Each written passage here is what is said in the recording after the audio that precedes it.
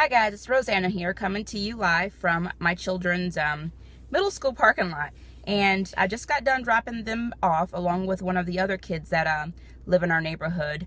And my husband and I usually do this, you know, every morning. We take turns.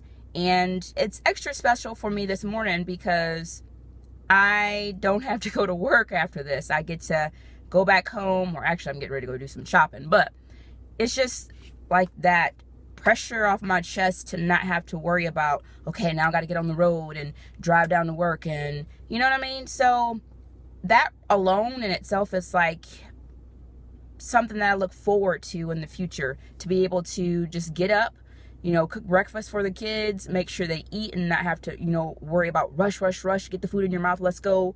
And my daughter's like still eating the banana and yogurt in the car, and my son's hiding his bacon in the back seat because he really doesn't. I mean, I guess he's too cool for breakfast, but I guess I can say I could spend a lot more time, you know, ensuring that we're sitting down at the table and making sure everything that I put on their plate is going where it needs to go.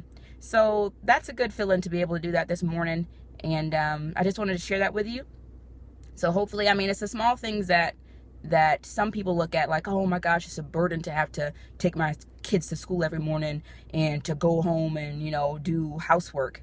I am actually looking forward to do that because I don't have the opportunity to, to do that a lot. I mean, it's always on the weekends and it's taken away from my family time. So I just wanted to share that with you, and I'm excited to be able to drop them off, go shopping, go home, finish the laundry, and I hope you uh, see the value in this. All right. I will see you later.